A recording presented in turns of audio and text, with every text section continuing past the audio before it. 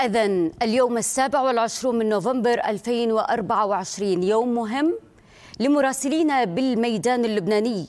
رصدوا لنا حال الناجين ومعاناة النازحين وعقبات المشهد السياسي وما خلفه من تصعيد أمني.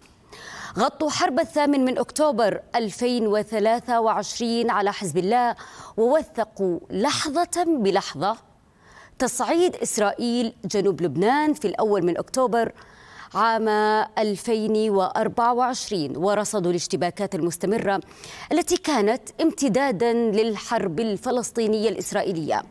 فحزب الله الذي دخل كجبهة إسناد لحماس في الثامن من أكتوبر 2023 كان يعلن أن حربه على إسرائيل تهدف للضغط عليها وإجبارها للمحاربة على جبهتين هنا القصد لبنان وغزة.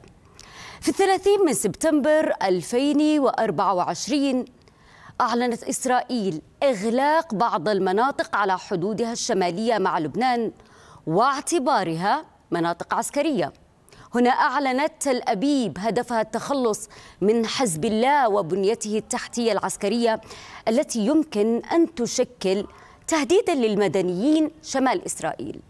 وقتلت زعيم الحزب حسن نصر الله وقياداته الأمنية والسياسية والإعلامية وشتتت عناصره. في خضم هذا المشهد انسحب الجيش اللبناني في بداية الحرب من بعض المناطق على الخط الأزرق. واليوم السابع والعشرون من نوفمبر 2024 تاريخ إعلان وقف إطلاق النار بين إسرائيل وحزب الله لكن الإبقاء على وحدة الساحات بالنسبة لحزب الله سقط. فيما عاد سكان المناطق المهجرة لأراضيهم التي تغيرت جغرافيتها وحتى مشهديتها. هنا نذهب إلى مراسلينا في لبنان.